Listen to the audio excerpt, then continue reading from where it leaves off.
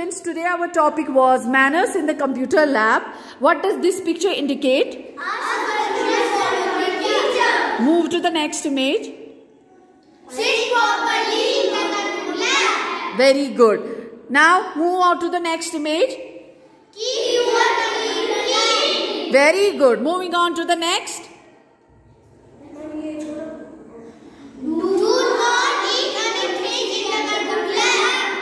again Move to the next. Make you Make a? Okay, very good students.